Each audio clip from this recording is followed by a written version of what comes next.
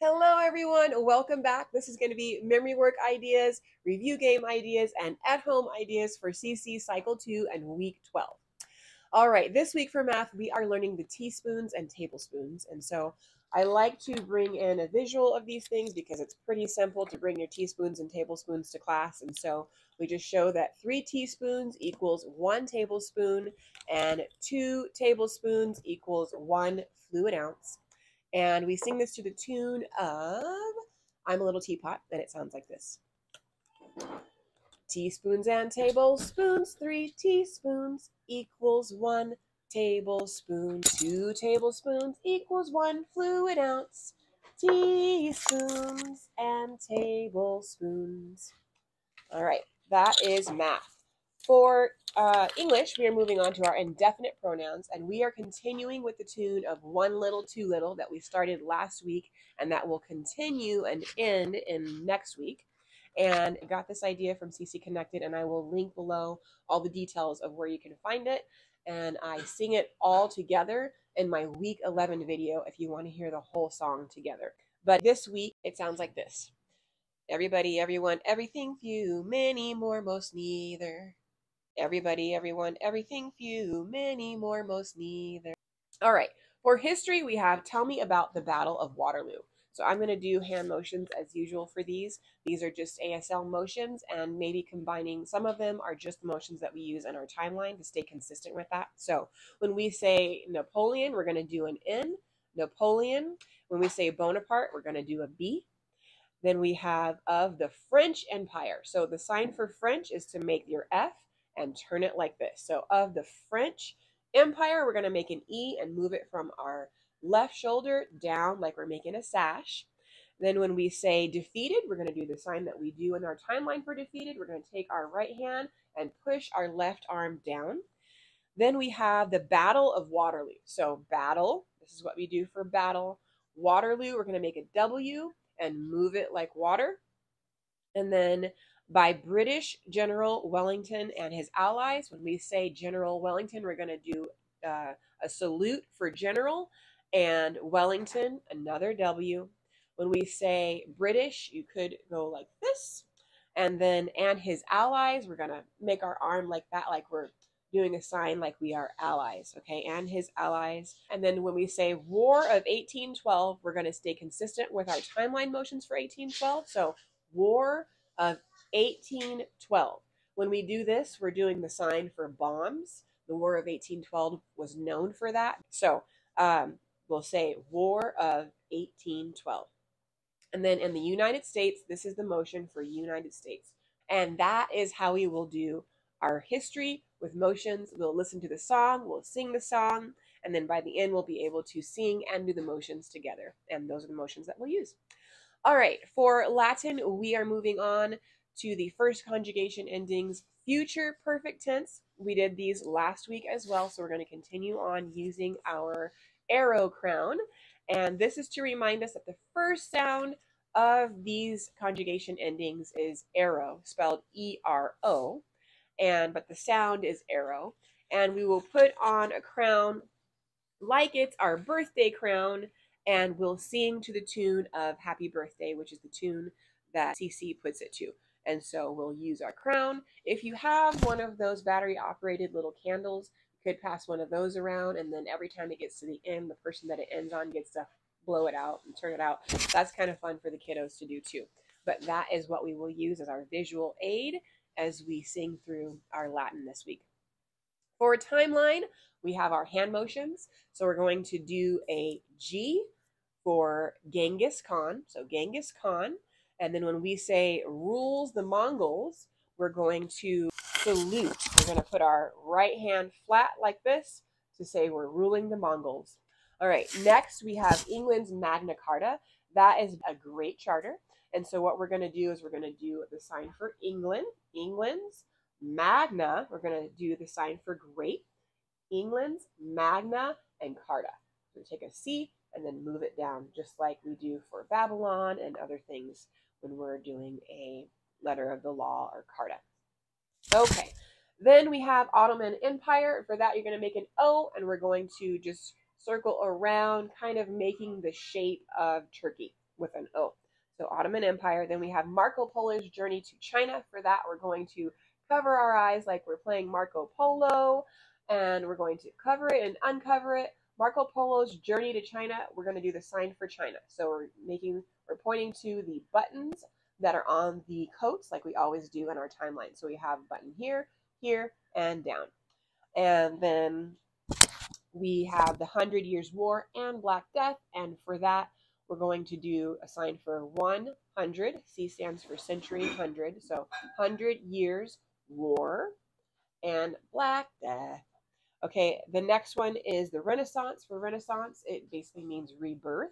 And so we're going to do the sign for rebirth. So you have your palm here. Uh, usually it's at your waist level, your tummy level. And so you have rebirth, and you take your other palm and you bring it out like you're having a rebirth. So that's the sign for Renaissance. And lastly, we have China's Ming Dynasty. And for China's Ming Dynasty, this is the dynasty or the time where they built the majority of the Great Wall. And so what we're going to do is do the sign for China again. So you have your left shoulder, right shoulder, and your hip that you're pointing to, like the coats. And then you're going to go like you're building. Just put your palms on top of each other, one after another. And that's it for timeline. Okay, Last, no, last two. For geography, we have Eastern European seas. And so uh, for this, it's always fun if you can at home or if you don't have allergies in your class uh, to bring in some fishy crackers. You could do it where as you point to each one, you put a fishy cracker in each of the seas. And then you do kind of a show me, tell me. As they tell you, they pick each one up and eat one. Eat it as they tell you what place it is, what sea it is. If you don't want to do fishy crackers, you could just sing it to a tune, and I thought it would be fun to sing it to uh, All Is Found um, from Frozen. Uh, it's kind of a slower tune, but it makes me think of the seas and the waters and the rivers, and so it sounds like this Eastern European seas, White Sea, Barents Sea, Black Sea, Caspian Sea, Aral Sea, Eastern European seas. And that is how we'll do geography. For science, uh, oh, I guess with that, I should say, even though you do a tune, we still always do where you outline it or point to it and identify it as a class. And then you always have, I always have the students repeat back to me what we've pointed to initially so that they can also show you and tell you what each place is. And then once you've got all that down and you've repeated it and gone over it a few times, then you can sing it and point to it while you sing it as a class. So that's how we use these tunes for geography. Okay, last for memory work, we have science. And for science, we are learning what are some other bodies in the solar system. And so uh, I thought that it would be fun. I have the littles. You could do this with older kids too, but we're going to sit in a circle and we're going to have little marbles or balls that we can roll around as we chant out our uh, asteroids, meteoroids, meteorites, and comets. I think that it's interesting during this phase if you have any way to show somewhat of a visual of these things, just so that they can get an idea of what an asteroid looks like, what a, a meteorite looks like, what a shooting star or comet is, and then kind of just review what each of those things are. An asteroid is a rock, right, that orbits around the sun, kind of like a planet, but they are huge. Um, to be specific, they are about a thousand kilometers in diameter. And then we have our meteoroids, which are fragments of asteroids or comets, and meteorites, which are like what we see as shooting stars, which are fragments of meteoroids, right? And then we have comets, which are ice and rock. And comets actually release a gas when they are around the sun. Things melt, the ice melts, and it leaves a really long tail after it. So, those are just some fun things to maybe point out as you go into it if you have time. But we will uh, show these pictures of asteroids, of meteors hitting Earth, and what kind of that, the big craters that that leaves. Uh, this right here is a comet. So I think that there are also visual aids that can be printed off on CC Connected. That might be another idea to just have handy if you want to. And if you don't want to use any of those visuals, you could just sit in the circle, roll your marbles or your balls, whatever you choose, and then as you as you chant or say, what are some other bodies in our solar system? Some other bodies in our solar system are asteroids, meteoroids, meteorites, and comets. And that's how we're going to cover all of our memory work this week. Uh, I hope that you guys have fun. For review this week, I have two different options that would be fun ideas. If you're wanting something more that would cover all of what you've learned for the last six weeks. You could do something like a game of sequence, a group game of sequence, which is basically where you're trying to cover the entire board by teams.